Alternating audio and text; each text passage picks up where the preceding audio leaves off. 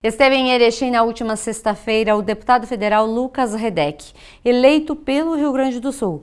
Após uma reunião de trabalho com lideranças do seu partido, o PSDB, o deputado Lucas concedeu uma entrevista para a TV Erechim e falou da importância de eleger candidatos comprometidos com a região. Acompanhe. Hoje nós vamos conversar com o deputado federal Lucas Redec, que também é presidente do PSDB no estado. Lucas, bem-vindo a Erechim hoje para essa reunião de trabalho.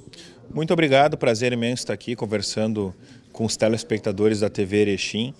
É o município de Erechim que a gente tem uma proximidade, eu digo, de carinho muito grande por ser um município desenvolvido, de gente trabalhadora, que é uma referência para o estado do Rio Grande do Sul. Já se inicia com o próprio planejamento da cidade, né, que é uma cidade uh, planejada, bonita, e isso faz com que uh, transcenda para o resto do estado. Eu venho hoje aqui reunido com os nossos três vereadores, com o nosso secretário municipal Emerson, também com o nosso pré-candidato a deputado federal, Jackson Arpini, que colocou o nome à disposição, que para nós é um momento de bastante felicidade, né, desde o início da sua filiação, porque é uma pessoa muito benquista aqui na cidade, que é uma referência né, como gestor e, mais importante ainda, colocando o nome à disposição para concorrer. Eu sempre digo que as pessoas, muitas vezes, boas, Uh, querem não participam da política, ficam fora por achar que a política, quem sabe, é uma coisa que uh, é difícil, que, que não é cativante, que tem muita coisa errada, muito rolo, enfim. E que bom que as pessoas boas queiram se envolver na política, porque se nós deixarmos, sempre digo, se os bons não participarem das, da política, nós vamos deixar só para aqueles que querem ter vantagem da política. Né? E o Jackson é uma pessoa que coloca o nome dele à disposição justamente para somar, para poder representar o município e a região, para que a gente consiga uh, entregar lá na ponta para o cidadão o serviço uh, em que é de obrigação ele receber. Porque o cidadão ele trabalha, paga um imposto alto, custo de vida elevado e o mínimo que ele tem que ter é o sentimento de satisfação de conseguir ter o resultado da máquina pública beneficiando ele não só ele beneficiando a máquina pública com o suor dos impostos. Por isso nós precisamos de pessoas boas como ele e hoje aqui nessa nossa discussão de uh, estruturar o PSTB, de buscar recursos. Hoje o PSTB no estado do Rio Grande do Sul, através do governo do estado, ele tem conseguido mandar recursos né, através de convênios para todos os municípios do estado do Rio Grande do Sul. E não é recurso pequeno, são obras estruturais de pavimentação, os hospitais uh, sendo aumentada a sua estrutura para poder dar mais qualidade de vida para as pessoas, infraestrutura na segurança pública, os melhores índices das últimas décadas as pessoas que vivem o dia a dia das últimas décadas aí dos municípios, só avaliar se hoje a sensação de segurança é melhor do que há 20, 15, 10 anos atrás. Então nós estamos num momento diferenciado de reinvestimento e não de choro, né? A gente, há uns anos atrás, via só os governadores chorar, que não tinha dinheiro, que o Estado estava quebrado. Agora, uh, quando se chora, tem que se ter uma solução, não vai chorar para o resto da vida. E o governador Eduardo conseguiu, através do mandato de governador, das reformas que foram feitas na Assembleia Legislativa, uh, mudar a cara do Estado. E hoje não tem lugar, eu sempre digo que tu não ande no Estado do Rio Grande do Sul, qualquer rodovia que tu tenha que parar, que até um transtorno fica parado, né? Por quê? Porque tem obra. É um então, então isso é um bom sinal. Eu sempre gosto de ficar parado sabendo que eu estou parando para o bem e que a gente vai ter desenvolvimento para o Estado. Quando nós falamos em desenvolvimento, é, formação de lideranças, nós sentimos a necessidade de eleger pessoas mais jovens para nos representar, que falem muitas vezes a nossa linguagem, que tenham essa visão mais abrangente de todos os setores. O PSDB pensa em colocar pessoas mais jovens para as, ah, as lideranças dos municípios, no Estado e na esfera federal? Sabe que o PSDB nunca fez uma política de tentar buscar apenas pessoas jovens para o partido, né?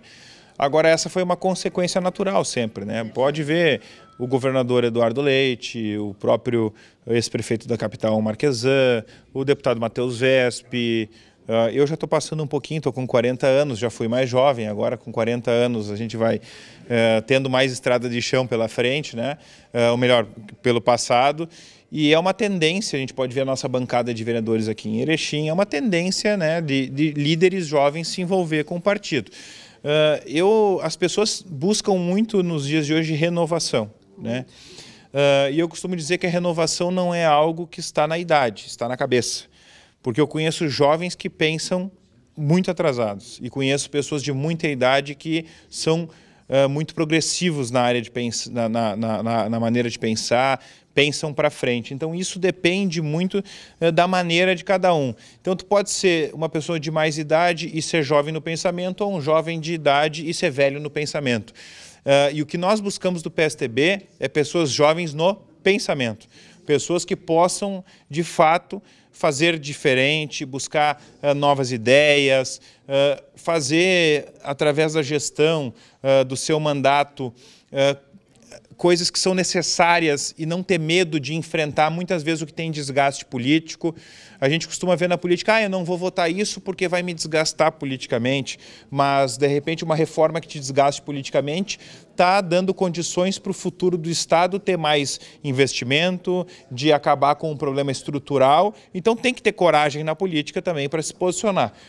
Eu sempre digo que no Rio Grande do Sul, político não pode ficar em cima do muro, tem que ter lado. A população gaúcha não gosta de quem fica em cima do muro. E eu acho que é dessa forma que nós vamos mostrar para as pessoas que política tem gente séria, que política tem gente que dá para confiar, tem gente ruim, gente boa em todas as profissões. Tem gente boa e gente ruim em tudo que é lugar.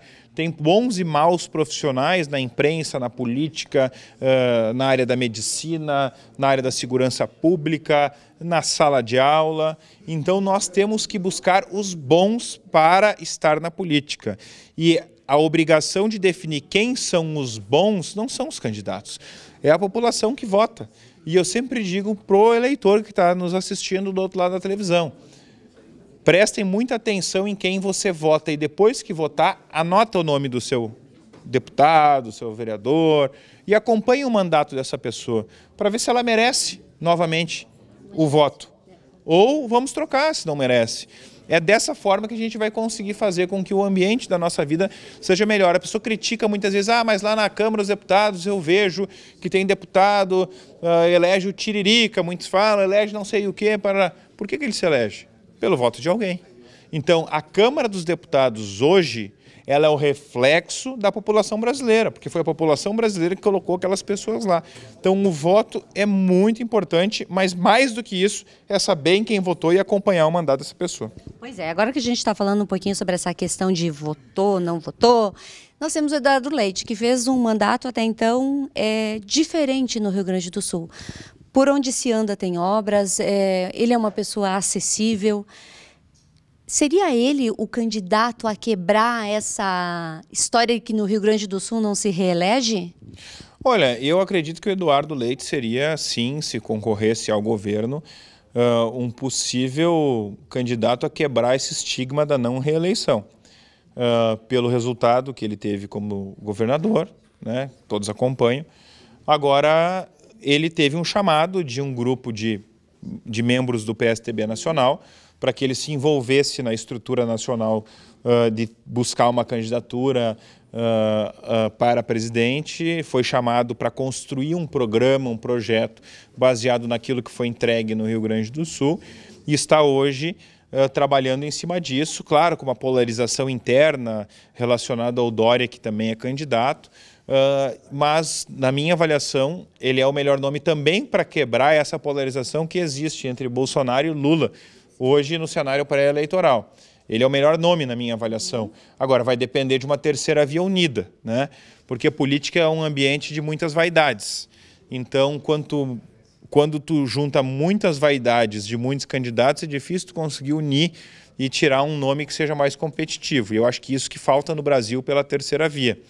Uh, mas né, eu também não, não, não deixo de dizer que o Eduardo Leite, na minha avaliação, seria o nome, e se eu pudesse definir uh, o rumo do Eduardo, e caso ele não fosse candidato a presidente, eu gostaria que ele concorresse à reeleição, ou ne, antes, né, ou agora que ele não é mais governador, concorresse ao governo novamente.